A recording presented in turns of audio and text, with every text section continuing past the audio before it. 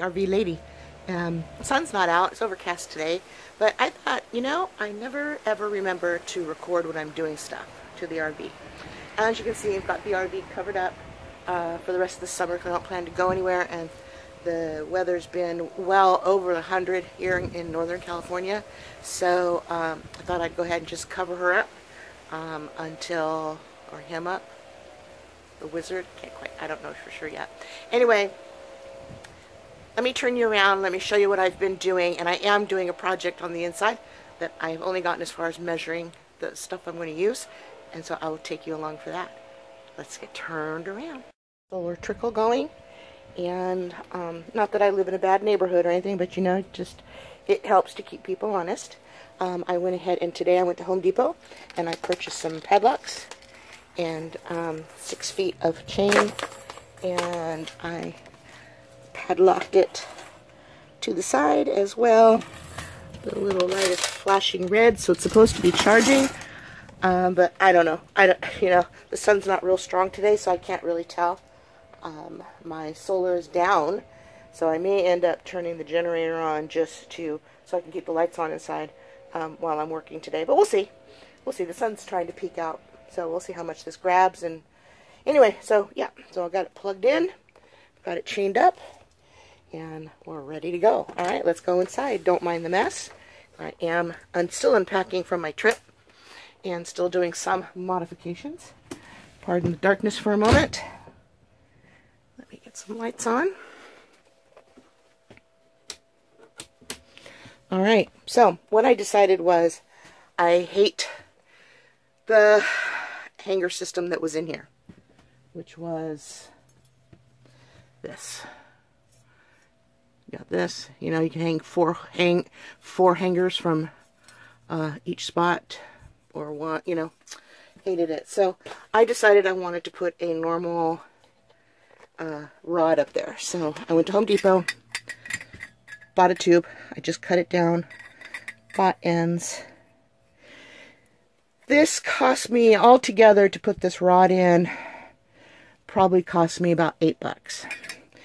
Bonus is, out of that eight bucks, I might have enough to actually put in a rod in my bathroom for when I, if I need to, you know, dry something and hang it, so I don't have to hang it from the shower door, because I don't want to warp that.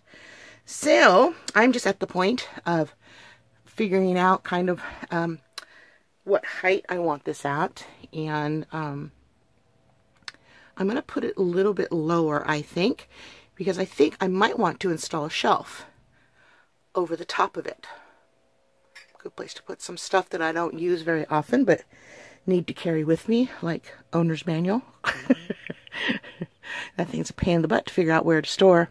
So, anyway, I mean, I am using actually above my pull out, my slide out for some storage because I just don't slide that thing out. But if I do, I've got to remember that I've got stuff up there. But, um, yeah, we're going to do that. And then I'll show you a few of the other things that I've done. So, let me go ahead and set you down where you'll have a bird's eye view, I hope. And um, we'll get started. Here's the finished product. Now, me being me, I of course cut the, the tube a little short, like maybe mm, half an inch. So I had some wedges. So I don't know if you can this focus. Oh, focus, focus, focus. Yeah, there you go. So I had some wedges and I put some wedges behind the pole. So now the pole moves a little bit, but um, it's not going to come out. I'm sorry, not going to come out fairly sturdy. And that's that. So the next thing I'm going to do is when next time I go back to Home Depot, I'm going to get some like little one inch by one inch to make um, a shelf base and then um, maybe buy a pre-made bookcase shelf and slip it in and then I will have a little bit of space up here for, like I said, for the manuals. Up here is my Levelmate Pro. This thing is awesome if you don't have one and if you're self-leveling. Um, awesome, works with your cell phone. Alright, so I told you I was going to show you something else that I did. So, I installed a fan. Yep, now this is not the same fan I have in my family room, and I think I'm going to switch them because this one actually spins a little faster, so it puts out more air. but I have to figure out how to do the wiring. So, um, but right now, my wiring goes from the fan. I've got it up here, over here, comes down, and here's where I can put a, so this is for where I could put a TV in my sleep area, because there's a piece of wood right back here for a mount. But, so I've got, you know, the a regular uh, AC plug, but, um, or is that a DC plug? I don't know. Anyway, got the little cigarette lighter pluggy thing here. So I've got, I bought this adapter, and it just had the two little O things, so the, I know this is so jerry-rigged, uh, or is this uh, called uh, redneck? I'm an Italian redneck, oh my god. So anyway, so I just got these connected, and then held up with two little command strip hooks just so they don't ever come together and touch because I'd hate to short out my battery. So far it's worked great. I've left this fan running while driving and um, it did great.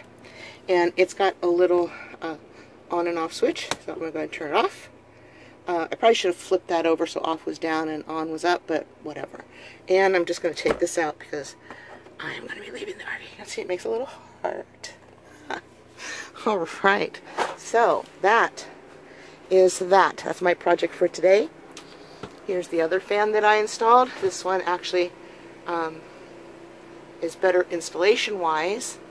So uh, I will say I have broken down, had to put some screws in my roof to hold my little shade. I've got both, shade and the little cushion thing. But um, this fan goes down and then down and then down and it plugs into my inverter. So works great. All right well I think that's all of my projects for at the moment. Um, I have a couple more that I do have the supplies to do them but I'm not sure I'm going to do them today. So um, there you go all right I'm going to go back to uh, unloading and putting stuff away and see what else I want to get myself involved in Alright, well, don't mind my looks. It's, I'm hot. It's hot in here. Um, I've got the fans on, which helps. But anyway, thanks for watching and thanks for staying to the end. Remember, if you like these kind of videos, please give me a thumbs up. Like and subscribe to my channel. I sure would appreciate it. Alright, thank you very much. And I'll uh, hopefully see you on the road. はい。